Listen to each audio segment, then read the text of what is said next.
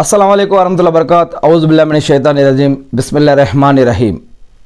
ప్రవక్త మొహమ్మద్ సల్లాహం గారు ఒక విషయం తెలియజేశారు అని అబూ హురేరా రజల్లా గారు అబూ సయీద్ కుదిరి రజల్లా గారు ఇద్దరు సహబాలు తెలియజేస్తున్నారు ఈ యొక్క విషయాన్ని. అదేమిటి అంటే ఎవరైనా సరే ఒక ఇస్లామిక్ బయాన్లలో ప్రసంగాలలో ఖుద్బాలలో లేదా ఒక ప్రత్యేకమైనటువంటి ఏర్పాట్లు చేసినప్పుడు అక్కడ ఒక అల్లా గురించి మాట్లాడుతున్నప్పుడు ఖురాన్ గురించి మాట్లాడుతున్నప్పుడు ఇస్లాం గురించి మాట్లాడుతున్నప్పుడు అటువంటి సమాస సమావేశాలకు వచ్చినా అక్కడ కూర్చున్నా అక్కడ నిలబడ్డా అక్కడ ప్రశాంతంగా ఉన్న అటువంటి ఏర్పాట్లు కురిపించిన చేసినా కూడా మరి అల్లా యొక్క కారుణ్యం వారిపైన కురుస్తుంది అని అల్లా యొక్క కారుణ్యం అల్లా యొక్క శాంతి వారిపై కురుస్తుంది అవతరిస్తుంది అని ప్రవక్త మొహమ్మద్ అస్లం గారు చెప్పారు.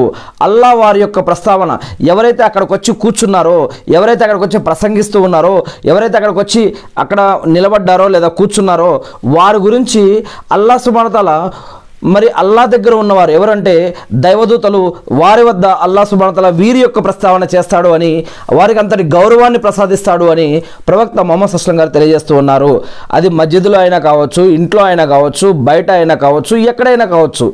అల్లా పేరు మీద ఏదైతే ఒక ఇస్లాం పేరు మీద ఒక కురాన్ మరియు అదిస్ల నేర్చ నేర్పడం కోసం నేర్పించడం కోసం నేర్చుకోవడం కోసం మరియు దానికి సంబంధించినటువంటి ఏదైనా మద్దతు కోసం ఏదైనా ఒక కార్యక్రమాన్ని ఒక మీటింగ్ని ఒక ప్రోగ్రామ్ని పెట్టుకుంటున్నాము అంటే మరి వారిపైన అల్లా యొక్క కారుణ్యం అల్లా యొక్క శాంతి సౌఖ్యాలు వారిపై కురుస్తాయి అని ప్రవక్త మొహమ్మద్ సల్లల్లాహు అల్లం గారు చెప్తున్నారు. మరి అంతేకాకుండా వారి గురించి అల్లా సుమర్తల దైవదూతలతో చెప్తాడు. చూడండి మా నా యొక్క పలానా యొక్క భక్తుడు పలానా యొక్క దాసుడు ఆమె లేదా ఈయన ఇగో చూడండి పలానా దగ్గర ఎలా కూర్చున్నాడో అల్లా పట్ల అంటే నా పట్ల భయం భక్తి గౌరవం మర్యాదతో ఎలా ఉంటున్నాడో ఎలా బోధిస్తున్నాడో లేదా ఎలా చెప్తున్నాడో ఎలా కూర్చున్నారో ఎలా వింటున్నారో ఎలా ఆలోచిస్తున్నారో అని చెప్పి అల్లా సుమతల వారి యొక్క ప్రస్థానం అల్లాకి మెచ్చి మరియు నచ్చి అల్లా యొక్క దైవదూతలతోటి వీరి గురించి సంభాషిస్తాడు చెప్పుతాడు అని ఇక్కడ ప్రవక్త మొహమ్మద్ అస్లం గారు చెప్పారు అని అబూ హురైరా రజల్లా గారు మరియు అబూ సయీద్ కుద్రీ రజల్లా గారు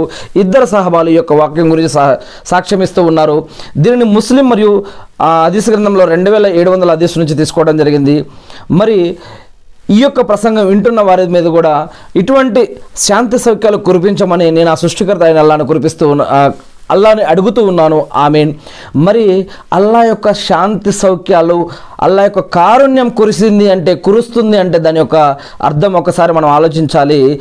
అల్లా యొక్క కారుణ్యం అల్లా యొక్క కరుణ మన మీద కురిస్తే అల్లా మన పాపాలనే క్షమిస్తాడు. అల్లా మన పట్ల మరి శా ప్రేమ గౌరవ మర్యాదతో ఉంటాడు.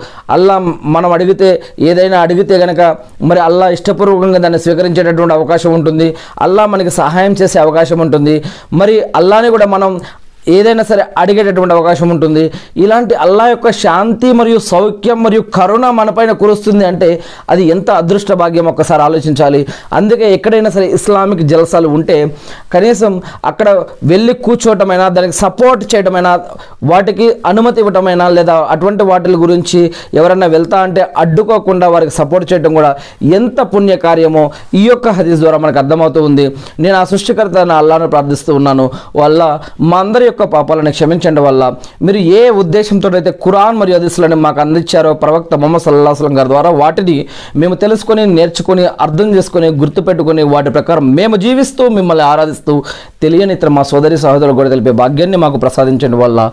I mean